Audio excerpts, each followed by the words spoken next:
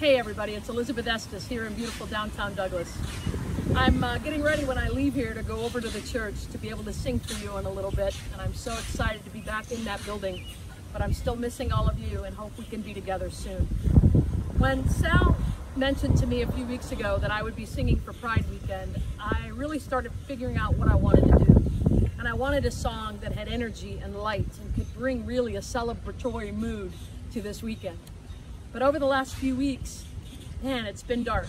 We've had moments of darkness in myriads of ways. And I know for me and for many of us, it's been soul crushing. A few years ago, it happened that I was also singing on Pride Weekend and I picked a song from the musical Hairspray called I Know Where I've Been. It was made famous by Queen Latifah on the big screen and Jennifer Hudson on the live stage. And I picked this song because I thought the lyrics really fit what we were trying to say to the LGBTQ community. There's a road we must travel, a promise we must make. There's a dream of the future and a struggle we've yet to win. But to sit still would be a sin. And it's so true.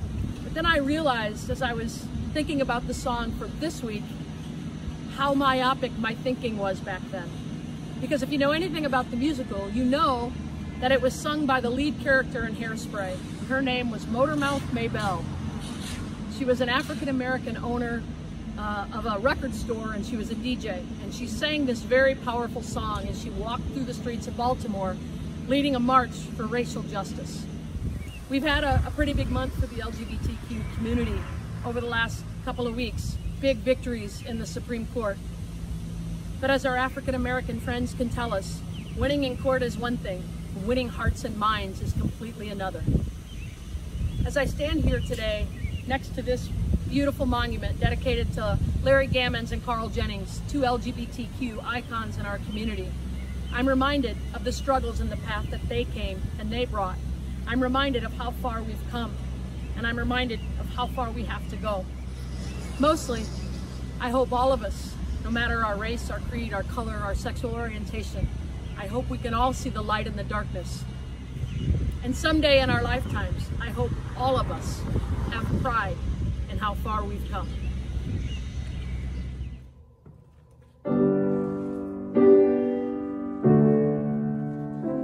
There's a light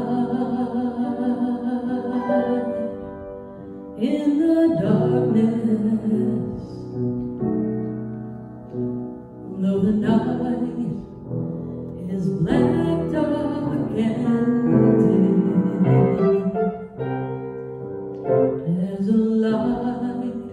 burning bright, showing